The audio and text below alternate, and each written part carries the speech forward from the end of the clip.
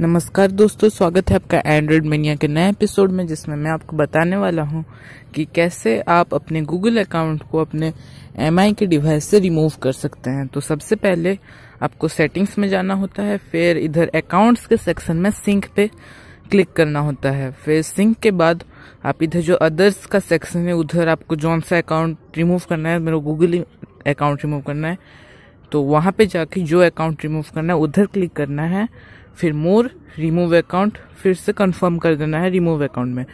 तो देख सकते हैं, यहाँ पे वो अकाउंट में रिमूव हो चुका है।